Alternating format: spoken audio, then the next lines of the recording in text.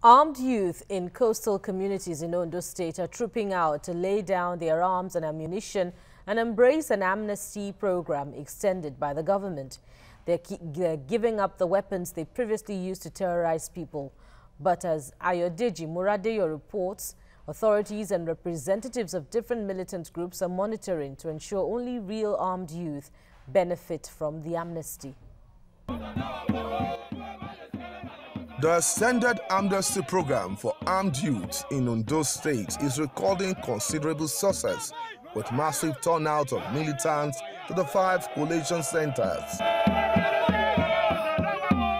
The centers in Igbekebo, Arogbo, Ugbonla, Ajapa, and Igbokoda, all in Ilaje and SL, the local government areas of the state, are flooded by armed youths. They have been going to the centers to submit their arms. Some of the arms laid down by these repentant militants include pump action rifles, Dane guns, live ammunition, and locally made artillery weapons. The state deputy governor Agbola Ajayi, who doubles as the chairman of the state amnesty committee, toured the collection centers with other members. Ajayi is delighted with the level of turnout of the repentant armed youth. He called on those still in hideout to utilize the window of opportunity offered by the government. You can see the turnout. I'm sure this is, this is the second day. This, today is the first, the second yes, day. Second day. The second day.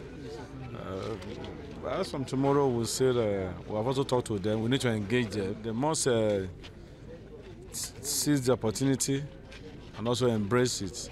Uh, this is the only chance they have because anybody who refuses to exploit this window, the federal government uh, will deal with the person immediately. The commanding officer of the Nigerian Navy Forward Operation Base, Igbokoda, Navy Captain Chindo Yaya, also described the turnout as impressive. The turnout has been very, very encouraging. Yeah, today is the second day.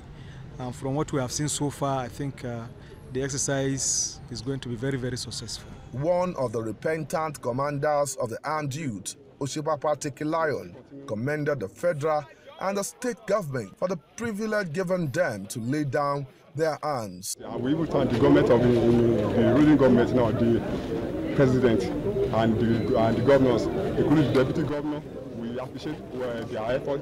The Ondo State Governor Oluwarotimi Akeredolu had on the 9th of November issued a 21-day ultimatum to the armed youth to submit their arms. Ayodeji Morade, TVC News, Akure, Ondo State.